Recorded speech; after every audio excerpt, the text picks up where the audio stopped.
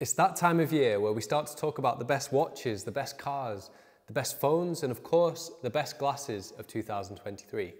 And in today's video, I'm going to be giving you a sneak preview into my thought process as I plan our end of year awards. And we're going to be looking at some of the best glasses that came out this year.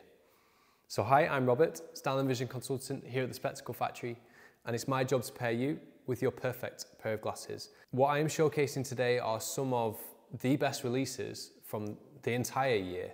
There is more in my mind, but these are some of the ones that are kind of leading the way. And that's for good reason because each pair on this table is special.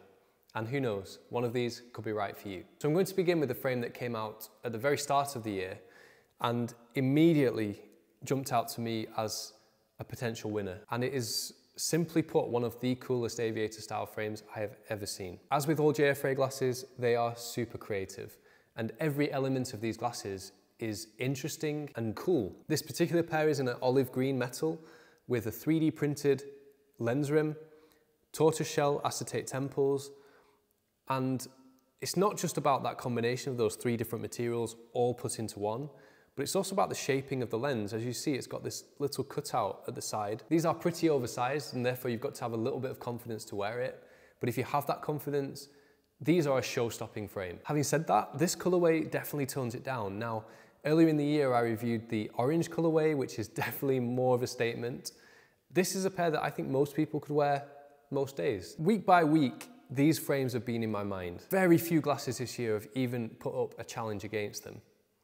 But ironically, J.F. Rey started the year well and they've ended the year well because they've just launched the 3056. Very similar in terms of profile, quite different in aesthetic ultimately. The 3056 is constructed from milled titanium, so you have this really thick cut of titanium, which makes the frames particularly bold, especially from this kind of angle. From this sideways view, you really get the thickness of the rim, which is almost like a side shield. It's that thick. The double bridge is just like super sturdy. And the hinge design, well, they previewed that on the big screen at the Silmo exhibition in Paris. And I was blown away by seeing the intricate construction of the temple. Seeing the end result is actually somewhat underwhelming because you know what's inside it, but you can only see the exterior. And I love how they finished it with the carbon fiber, but it definitely doesn't tell the full story of just how masterful the design of these frames is. We have lovely sculpted acetate end tips, and of course that orange accent color which really makes them pop. What do you think? Does the 3056 beat out the 3052? For me, it's very close. So a late contender to frame of the year. But it wasn't just J.F. Rey who have blown me away this year. Reykjavik Eyes also came out with a surprise as well. This completely transforms their usual aesthetic. Now, you've probably heard me on this channel talking about Reykjavik Eyes all the time because they are my most recommended eyewear brand. They're the most comfortable glasses in the world. They're the most durable glasses in the world. Based on my 10 plus years experience as an optician, I've not seen anything so durable and I've not seen anything so reliable as a Reykjavik Eyes frame. And they feel like you are not wearing glasses, which is the beauty of Gunnar Gunnarsson's design. However, they've also always been incredibly minimalistic with super thin laser cut titanium. The Larus changes that because it takes that Reykjavik Eyes construction, same manufacturing process, but with a much thicker cut of titanium to form the lens rim.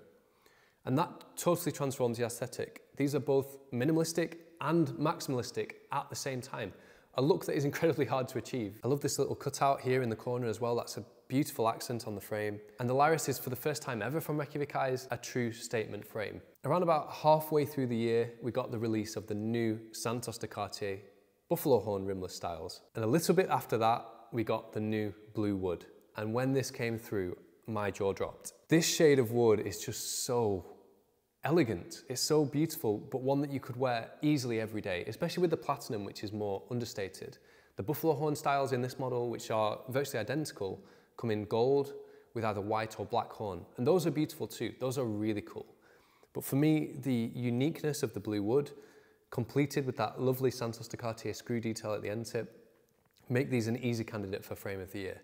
It's for me the best release from Cartier in 2023. Of course with this frame you would definitely want to modify the shape and custom shapes with Cartier is what it's all about. We actually took as a project the shape from the 3052 and fitted it to the buffalo horn version of these. They looked epic. And of course there are all kinds of shapes you can do, but combining something like the J.F. Rey with the Cartier creates a whole new vibe. And that is something I find really inspiring to kind of create our own project together. And for me, again, this would have been an easy contender for Frame of the Year until, until Cartier threw out another new release, which is the new Greenwood. And everything that I've just said about the blue wood, it being elegant, understated, very wearable, is equally true with this green shade. Because again, I mean, of course, the, the shape and the tint that's on these makes them much more impactful. But just looking purely at the wood design, it's again quite subtle and classy, but just so stylish. Arguably, this is more stylish than blue.